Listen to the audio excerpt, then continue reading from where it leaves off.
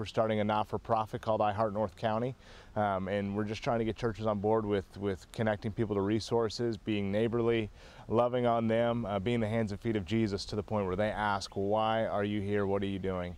Um, and so typical week, I, I, work on sermons, I meet with folks, um, discipling our leadership team um, so that they can go disciple others, spend time um, planning worship with our worship pastor, investing in youth. It just runs the gamut depending on, on what's going on. Hospital visits to, hey, my cousin that you've never met needs someone to talk to. So um, whatever God kind of lays at me, I've got a few things that I have to get done and everything else is, um, I won't say fly by the seat of my pants, but it tends to be um, whenever the call comes, I go running. We've got a group in town from Paducah, Kentucky, um, Lone Oak Baptist, um, and so one of the great things about them, as well as we've had a group from London, Kentucky come in, and um, with those two groups, what they've done is we've actually formed a partnership with the city of Florissant.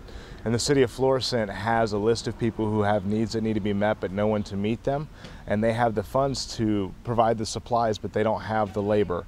And so this group is helping us serve the city of Florissant as well as a homeowner um, by doing the labor.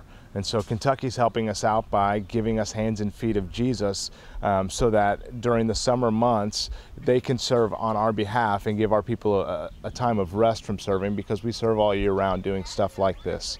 And so Kentucky's really helping us out by just being the hands and feet um, both to our church by letting them rest and to the city of Florissant and homeowners um, by being a picture of the gospel of, of old things being made new, of, of sins being covered, if you will, of neglect and, and uh, disarray. I love the fact that Kentucky is teaming up with St. Louis simply because I can now call on all my friends in the Kentucky Baptist Association and, and conference and just say, hey, um, you want to come serve at my church, your, your state's supporting it. And so I love that fact that there's this teamwork. And, and the other cool thing is, is talking with my church people and trying to set up some family uh, mission trips to where we can go to Louisville, we can go to Paducah, we can go to uh, London, Kentucky, and uh, we'll go serve as well and team up with Kentucky. We want to be reciprocal.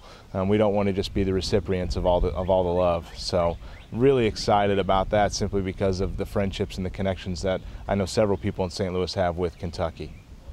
So we don't serve simply for the sake of, of being a nice guy. We serve for the purpose of sharing the gospel and getting Jesus' name out there. And so we're not ashamed about that. And we're grateful, like for the group from London that came out and they shared the gospel with Miss Diane.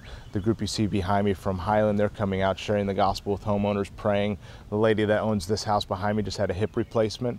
And so uh, Miss Mary from Lone Oak is in there praying with her and chatting with her, as well as the teenagers making her house look beautiful and it's just helping us get the gospel out there as well as hey there's a church out there that really loves god and is bringing people in people are amazed to find out that students from kentucky pay two three four hundred dollars to come serve uh, the city of St. Louis for a week, and it just blows their mind that teenagers want to come invest from Kentucky in St. Louis City and County.